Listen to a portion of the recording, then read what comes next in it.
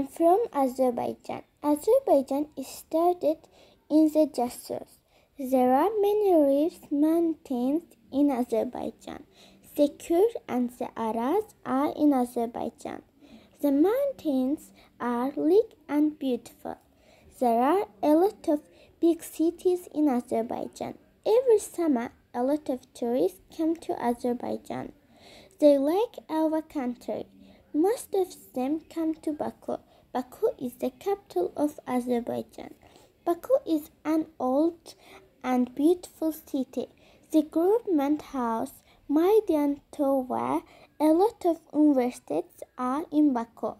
There are a lot of parks, museums, theaters in Baku too. I live in Baku. On summer holiday, I go to the park, museum, theaters with my family. I like Baku.